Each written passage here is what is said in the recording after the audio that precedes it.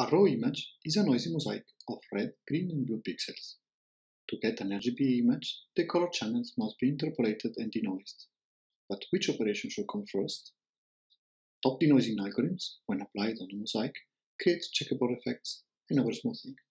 Conversely, if we demosaic the noisy mosaic, the noise is no longer white Gaussian.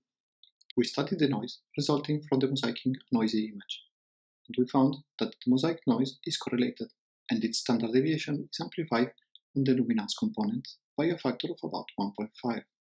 So we propose to denoise the mosaic image by assuming higher noise. Applying RCNN first, followed by BM3D, beats applying BM3D first, followed by RCNN. The PSNRs and image quality show both that RCNN followed by BM3D using a higher sigma work best. Hence, our take-home message, demosaic first, then denoise, assuming 1.5 sigma.